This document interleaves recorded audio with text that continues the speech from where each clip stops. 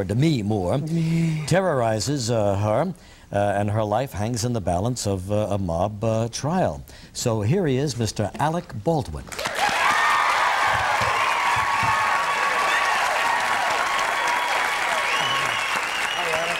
So sorry. I had to hit somebody, that's all. You know, the guys tell me that this morning uh, Alec was being driven up 67th Street, which I've talked about on this show many, many times, the terrible traffic on this street. Yes. Finally had to stop his car, get out of the car, No. and direct traffic. I did. Let's go this way. I did. Yeah, somebody has to You come it. here. There's a gar- there was a garbage truck blocking the street. know. So- Every and day we're of our waiting and we're, every day of your lives. So what did you do? But you two helicopter to the No, no, rooftop. no, no. And come so what down. did you do? to- Did you get out of the car and, and tell the guy to um, move on? I got well. I got out and I said, uh, "Could you move so I could go do this television show?" I mean, we can't wait. And he kind of looked at me like, "Yeah, that's great, pal."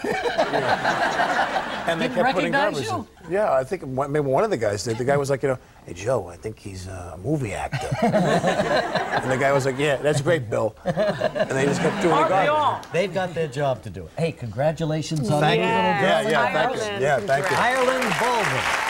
I have to. I have to thank you because I got a package and we got your book and the disc, and my wife has been reading me at night clips of your book with Cody. Something Or weird about excerpts. that. Well, she'll be, but I think I know more about your son's toilet training than I ever thought I would know, and I never No, I cared. think we all know oh, about that. Is she playing the little record for him? Because Yes. I hear he's sleeping through the night. Yeah. Ah, she is. She- She's she sleep- is, yeah. yeah. And you are too, I hope. Yeah, absolutely. No, it's, it's been fantastic. This is the I can't believe this happened to you. Yeah, well- You're like the Lyndon Johnson of today's shows now, showing your scars, you know? Well, everything goes. Well, you see, it's such a big, obvious bandage that uh, people are going to wonder what it is, and if I don't talk about it, they'll think I it's wouldn't worse. let him show the kidney stones, but that I said, all right. Yeah. So this is the firstborn in your house? This is my wife and I, our first kid. yes. my- what's the hardest thing But you're about the hooked now, it sounds going through? Like.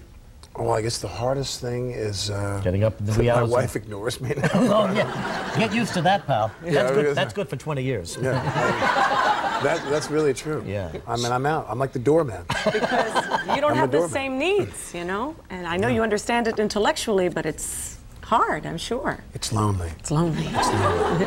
Alec Baldwin is lonely.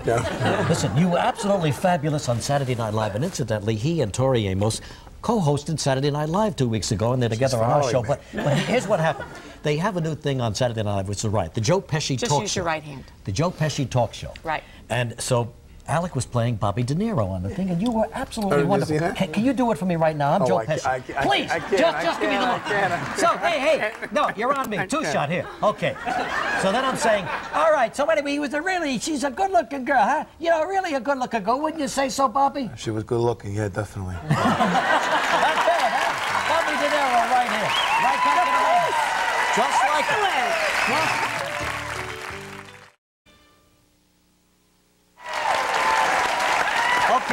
Baldwin, our guest.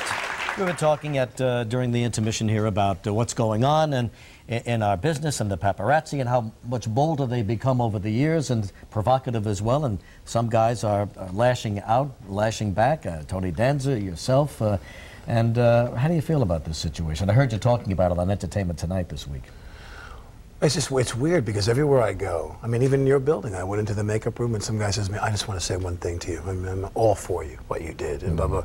And uh, I I mean, I get this incredible reaction from, from people about wanting to protect your wife and your kid. But the bottom line is that I dispute what the guy said happened. I didn't punch the guy. You in the didn't punch him, but aren't they becoming more and more provocative? And sometimes in hopes that you will That hit you them will. and then you'll get a million Yeah. dollar lawsuit. I have I've had people come up to me and you see them bait you, and Mm-hmm. then and then you can see that they want something, and, and if they don't get it, they're extremely disappointed. Yeah. Yeah. They don't get what they, they they want you to slug them. On the other hand, a lot of people will say, hey, look, just stand still, let them take the picture and go on with your life. You know what it is? Is that if I go, as you do, to all these venues and these things where people can see, while you go to screenings and parties and You know anything where you're out there, of you, you're, right, don't you're out there and you're very happy to do that kind of thing. But I live pretty far from uh, ground zero in, in Hollywood. We live outside of town.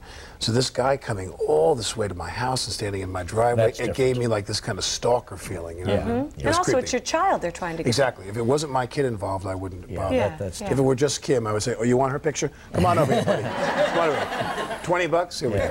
You know, I'll hold her. I'll hold her. speaking of stalkers, you you play one in the new movie, The Juror. huh? I do. Well, Yeah, and kind of a scary guy. Yeah. Now, you know, people are, are leery enough about serving on juries. Is this going to frighten them even more? Well, no. Because, Only a mob trial jury. Yeah, right, exactly, exactly. This is a, a, a mafia thing, but uh, this movie was something that I really wanted to do because I've always wanted to work with Demi, who I've known for a long time, her and Bruce, and uh, and uh, although I will say this is uh, this is like I think this is the last of those kinds of movies I'm going to do. yeah. Because it's kind of tough, you know. it's, uh, Well, I heard you say the other day too that you're not even sure you want to keep doing this fatherhood thing. Is I don't wanna work. and you don't want to leave for a long time. I don't want to leave my gonna- house. I really don't. I, I left to come here uh, on Wednesday, and uh, I kept changing my flight.